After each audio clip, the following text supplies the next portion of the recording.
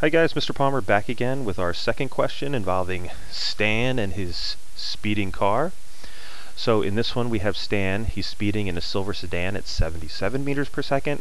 He sees a police officer 90 meters in front of him. He applies the brakes and slows to 38 meters per second by the time he's next to the police car. And we want to find the acceleration and the time. Again, this is one of our classic if-that problems. That is, it's an acceleration.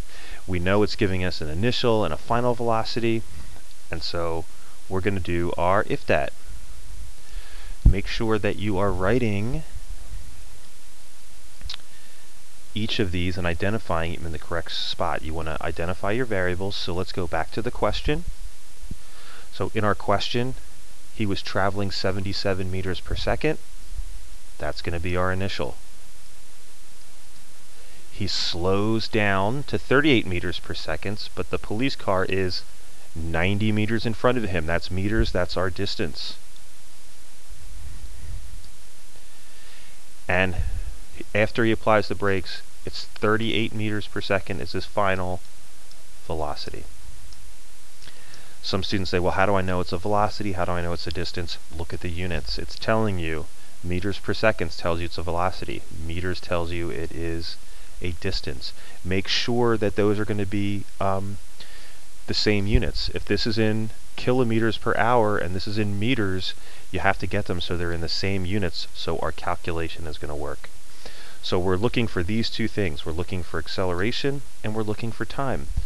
And you guys should recall in an if-that problem, in a constant acceleration problem, you know three, you know me, you've got three variables here that you've identified. So we want to pick one of your four kinematic equations. We can start by finding acceleration using our VF squared equation.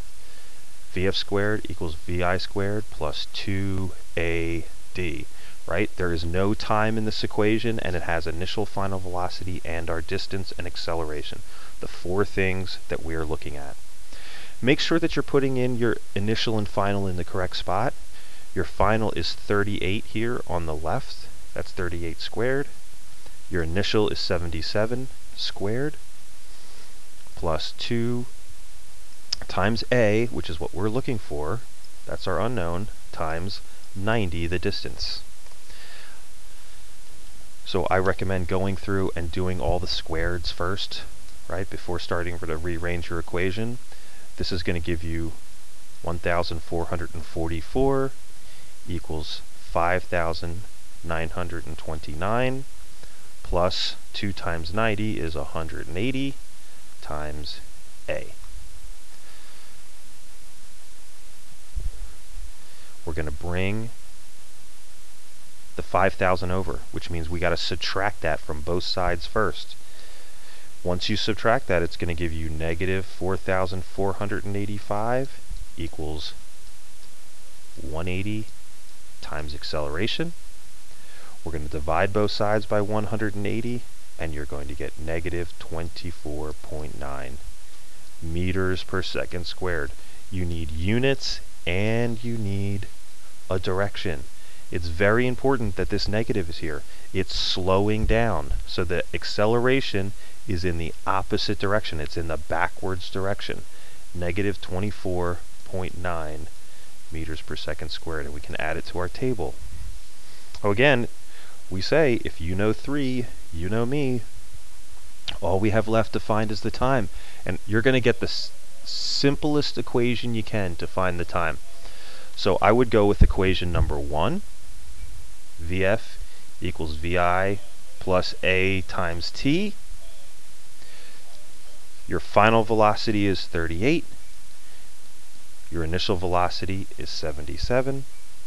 Your acceleration is negative 24.9 times the time. So on this side, we're going to bring the 77 over. That gives us negative 39 equals negative 24.9 times the t.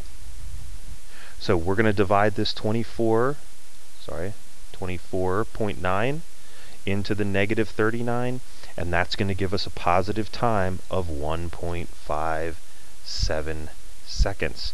Again, if you're getting a negative number for time, you're definitely doing something wrong in this problem. Okay, that's it for this one. Uh, stay tuned for number three coming up.